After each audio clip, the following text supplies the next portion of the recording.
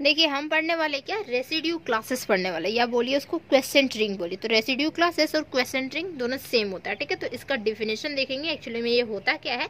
और इससे रिलेटेड एक थ्योरम है, ठीक है? तो इससे पहले हम फंडामेंटल थ्योरम करवाए ना तो इसका यूज़ हुआ था, ठीक है? रेसिड्यू क्लासेस का यूज़ हुआ था वहाँ पे। तो हम बता चुके थे कि रेसिड्यू क्लासेस क्या होता है। और फंडामेंटल थ्योरम मोस्ट इंपॉर्टेंट है मोस्ट मोस्ट इंपॉर्टेंट है। हर बार पूछा जाता है, ठीक है? दो बार लगातार पूछ चुका है। ठीक है? तो आप लोग को भी पूछ सकता है। उसको इग्नोर नहीं करना है। ठीक है? तो देखिए एक्चुअली में क्या है? रेसिड्यू क्लासेस जो होता है, वो एक्चुअली में क्या होता है? जैसे आर को हमारा रिंग हुआ, ठीक है? और एस जो होता है, वो क्या होता है? हमारा सब रिंग्स भी होता है, सब ग्रुप भी होता है, और ये हमारा कर्नल भी आइडियल है, ये हमारा। एस जो हुआ, वो आइडियल हुआ। अब आइडियल के लिए क्या होता है? आइडियल को पता है ना कि आइडियल में दो प्रॉपर्टी सेटिस्फाई होता है एस जो हमारा सब ग्रुप होता है। तो सब रिंग्स हुआ ना तो सब रिंग्स के बाद भी वो हमारा सब ग्रुप भी होता है, ठीक है? तो एस जो हमारा सब ग्रुप हुआ सब ग्रुप किसमें? अंडर एडिशन में, ठीक है? ये याद रखिएगा कि अंडर एडिशन में ही हमारा ये सब ग्रुप होता है। सब ग्रुप और लेफ़्ट आइडियल और राइट आइडियल हमारा क्या होता है? सेटिस्फाई करेगा ना। तो आर का कोई एलिमेंट लेते हैं, मान लेते हैं ए कोई एलिमेंट है तो ए एस कहाँ बिलोंग करेगा एस में? फिर एस ए कहाँ बिलोंग करेगा हमारा एस में? ए जो एलिमेंट है किसका? आर का एलिमेंट है एस जो एलिमेंट है वो किसका? एस का एलिमेंट है। तो ये हमारा क्या एस जो हुआ, वो हमारा आइडियल हुआ। ये हमारा एस आइडियल होता है, इसमें रहता है कि एस आइडियल होता है। तो ये दोनों थ्योरम जो है, वो सेटिस्फाई करेगा। दोनों प्रॉपर्टीज़ सेटिस्फाई करेगा हमारा एस ओके देन एस का जो कोसेट्स होता है कोसेट्स जो होता है उसी को हम बोलते हैं क्या? ये हमारा रेसिड्यू। Residue classes. ठीक है? रेसिड्यू क्लासेस बोलिए या फिर क्वेश्चन बोलिए। तो एस का जो एक्चुअली में जो कोसेट्स हुआ, उसी को बोलेंगे। और जो डेनेशन होता है, किस तरीके से? रिंग जो हमारा है आर बाई में हमारा एस होगा। This is equal to S plus A means हमारा एस जो आइडियल हुआ एस और ए जो हमारा आर का एलिमेंट हो this is equal to A कहाँ है? आर का एलिमेंट है। तो ये हमारा होता है। आर फोर है this equal to S plus A ठीक है?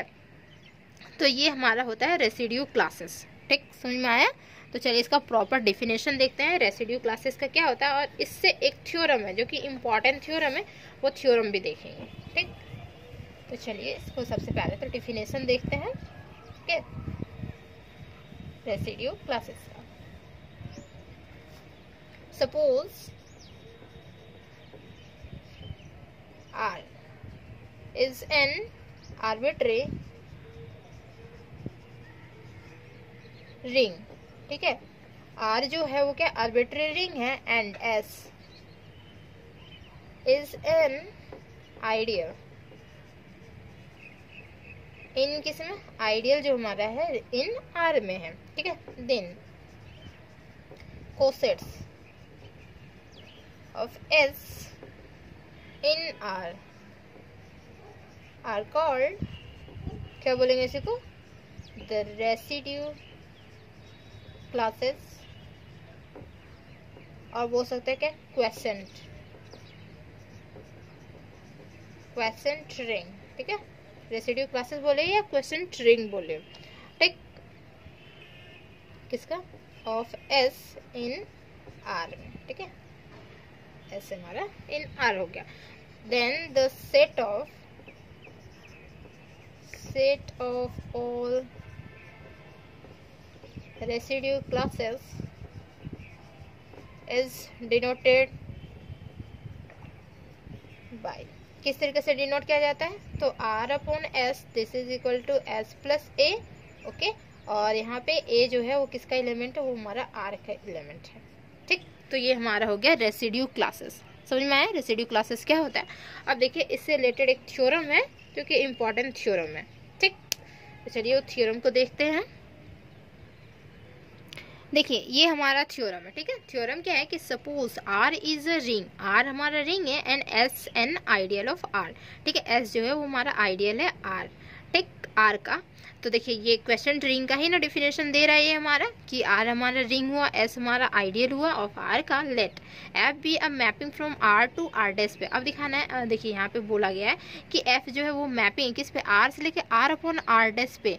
मीन्स हमारा क्या ये हमारा क्वेश्चन रिंग पे ये हमारा मैपिंग डिफाइन है। ठीक तो डिफाइन बाय इस तरीके से डिफाइन है कि एफ़ ऑफ़ ए अगर हम लिखेंगे इक्वल टू क्या हो जाएगा? एस प्लस ए हो जाएगा। इस तरीके से डिफाइन है। और ए एलिमेंट कहाँ का रहेगा? आर का एलिमेंट रहेगा। देन हमें क्या दिखाना होगा कि एफ़ जो है is the homomorphism of R onto R dash पे। एफ़ होमोमॉर्फिज्म है किस पे? R onto R upon S पे। मीन्स क्या हो गया कि रिंग जो होमोमॉर्फिज्म होगा, वो किस पे हो जाएगा? तो हमारा हो जाएगा क्वेश्चन रिंग पे हो जाएगा। ठीक है? ये हमें दिखाना होगा। एफ़ ओके एफ़ होमोमॉर्फिज्म हो जाएगा किस पे? आर मीन्स क्वेश्चन रिंग पे होमोमॉर्फिज्म होगा। तो ये हमें दिखाना होगा। तो होमोमॉर्फिज्म दिखाने के लिए हम क्या करेंगे? तो देखिए ए बी दो एलिमेंट लेंगे। किसका? आर का एलिमेंट लेंगे और किस तरीके से दिखाएँगे? तो F of A plus B अगर आप लोग होमोमॉर्फिज्म एक्चुअली में फंडामेंटल थ्योरम ऑफ़ होमोमॉर्फिज्म अगर आप लोग पढ़े होंगे तो ये पता होगा कि F of A plus B जो होगा दिस इज़ इक्वल टू इसे हम क्या लिख सकते हैं? देखिए, यहाँ पे क्या है? F of a equal to s plus a है तो f of a plus b हो जाएगा। तो इसे हम क्या लिख सकते हैं? S plus a plus b लिख सकते हैं ना? ए प्लस बी इस तरीके से। अगर ये हमारा, इस तरीके से डिफाइन है ए हमारा यहाँ पे आएगा। तो एक्चुअली में ये जो जितने भी एलिमेंट होंगे एफ़ के बाद जो एलिमेंट होंगे यहाँ पे ठीक है? तो ये हमारा एस के बाद ही आएगा ना तो ए प्लस बी आ जाएगा। अगर हम एफ़ ऑफ़ ए बी लिए तो क्या हो जाएगा? तो एस प्लस यहाँ पे ए बी आ जाएगा। होगा ना?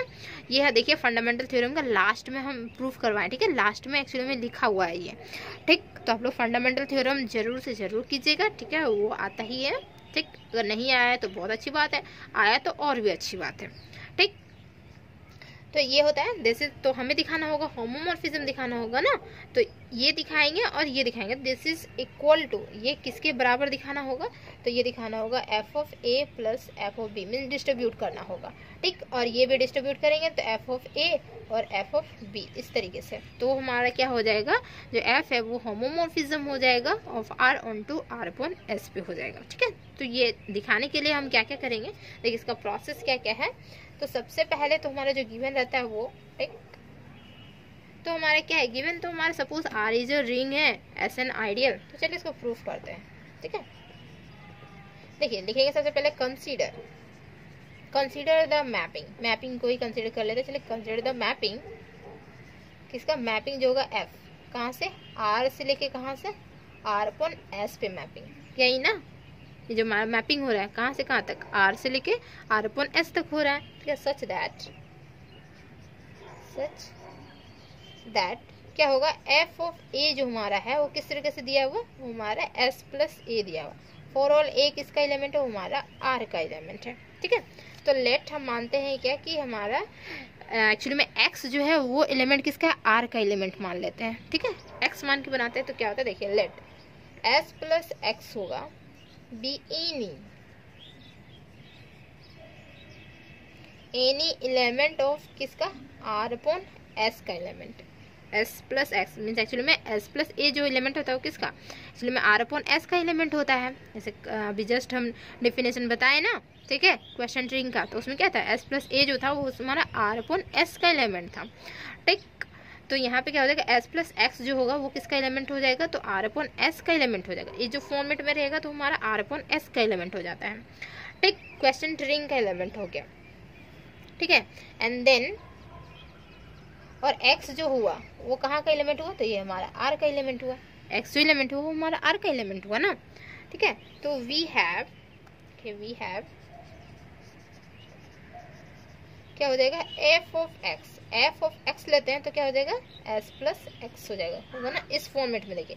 एफ़ ऑफ़ ए ले रहे हैं तो क्या हो जा रहा है? एस प्लस ए हो जा रहा है। एफ़ ऑफ़ एक्स ले रहे हैं तो क्या हो जाएगा? एस प्लस हमारा एक्स हो जाएगा। इस तरीके से क्यों ले रहे हैं एक्स क्योंकि अगर हम f of a plus b लेते हैं तो ए प्लस बी जो है वो किसके जगह पे पुट करेंगे? तो एक्स की जगह पे ही पुट करेंगे ना। और ए और ए मल्टीप्लाई विद बी भी करेंगे तो किसके जगह पे? एक्स की जगह पे पुट करेंगे। इस वजह से हम एक्स वाले दिखाते हैं। ठीक? समझ में आया? Therefore therefore, the mapping. जो मैपिंग होगा therefore, the mapping, f. F is क्या हो जाएगा? ऑन टू आर पर एस पे। ठीक है? देन अब देखिए, अब दिखाना होगा क्या? होमोमोर्फिज्म दिखाना होगा। होमोमोर्फिज्म दिखाने के लिए तो एक्स की जगह पे हम वैल्यूज़ सारे पुट करते जाएँगे। ठीक है? चलिए। मीन्स क्या है कि ए प्लस बी और हमारा ए मल्टीप्लाई विथ बी ठीक? देखिए, अब हम लिखेंगे क्या? लेट ए और बी दो एलिमेंट है किसका? आर का एलिमेंट ए बी दो एलिमेंट है आर का? देन तो हमारे पास क्या होगा? तो f of a plus b okay यहाँ पे हमारा x की जगह पे हम पुट करेंगे ना सब वैल्यूज़ तो f of a plus b this is equal to जो फॉर्मेशन के हिसाब से क्या हो जाएगा? ये हमारा फॉर्मेशन के हिसाब से हो जाएगा। ठीक देन ये हम ब्रैकेट में रख सकते हैं इसको। दिस इज़ इक्वल टू क्या हो जाएगा? तो ये हमारा जो इक्वल होगा, वो किसका इक्वल होगा? तो s प्लस ए और फिर यहाँ s प्लस बी के इक्वल होगा। S प्लस ए प्लस यहाँ पे s प्लस बी देखिए। ठीक? और ये हमारा जो इक्वल होगा तो एस प्लस ए जो है, वो किसका इक्वल होता है? तो हमारा एफ़ ऑफ़ ए का इक्वल प्लस यहाँ पे f ऑफ़ b का इक्वल होता है। होता है ना? देखिए, जैसे कि हमारा था ना f of a equal to s plus a था हमारा, ठीक है? तो ये हमारा हो गया एफ़ ऑफ़ ए हो गया, और हमारा ये इक्वल हो जाएगा एफ़ ऑफ़ बी के इक्वल हो जाएगा, ठीक? तो ये हमारा एक्चुअली में देखिए डिस्ट्रीब्यूट हो गया। एंड देन एंड ऑल्सो लिखिए ऑल्सो बोल सकते हैं कि एफ़ ऑफ़ ए बी होगा तो this is equal to s plus यहाँ पे ए बी हो जाएगा। और दिस इज़ इक्वल टू क्या हो जाएगा? एस प्लस ए होगा और यहाँ पे एस प्लस बी होगा, इस तरीके से। फंडामेंटल थ्योरम ऑफ़ होमोमॉर्फिज्म याद होगा? तो वो बहुत इजीली कर लेगा कोई भी स्टूडेंट ठीक? देखिए लास्ट वाला terms this is equal to अब ये जो हमारा टर्म्स होता है, वो एफ़ ऑफ़ ए और this is f of b होता है।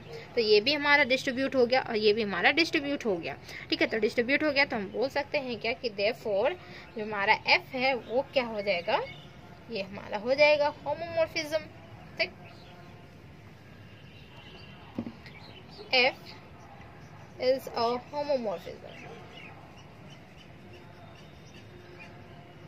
Homomorphism of R on to किस पे होगा? आर अपॉन एस पे हो जाएगा।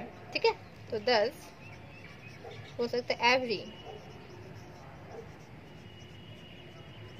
क्वेश्चन रिंग जो हमारा है मीन्स हमारा क्या हुआ? रेसिड्यू क्लासेस तो question ring of a ring offering R बोले is a homomorphism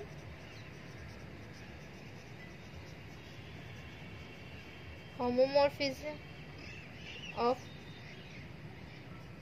the ring किसका हो जाएगा रिंग ऑफ़ द रिंग बोले ठीक है या तो होमोमॉर्फिक इमेज एक्चुअली में क्या है कि होमोमॉर्फिक इमेज ही है ठीक है homomorphic the uh, thus every quotient ring of a ring R is a homomorphic image of the ring image of the ring ठीक है? तो ये हमारा होता है कंप्लीट थ्योरम ठीक? तो ये थ्योरम समझ में आया? तो एक्चुअली मैंने क्या फंडामेंटल थ्योरम ऑफ़ होमोमॉर्फिज्म बस उसी का थोड़ा सा यूजेस है। देखिए, यहाँ पे यूजेस नहीं, उसी का टाइप हुआ ना, वहाँ पे भी ऐसे सेम टू सेम चेंज थे। अगर वो वाला याद होगा ना तो आप इजीली ये कर सकते हैं। नहीं तो देखिए ना, इसका जो कंडीशन दिया हुआ था, वहीं से तो हमारा आ रहा है। एक्स की जगह पे हम a plus b value put कर रहे हैं ना तो ये हमारा क्या हो जाता है a plus s plus a हो जाता है और एस प्लस बी भी हो जाता है, ठीक है? ये हमारा हो जाता है। और एस प्लस यहाँ पे ए होगा। अब मल्टीप्लाई है ना बीच में, ये ए प्लस बी के पास मल्टीप्लाई है ना तो यहाँ पे बीच में मल्टीप्लाई हो जाएगा।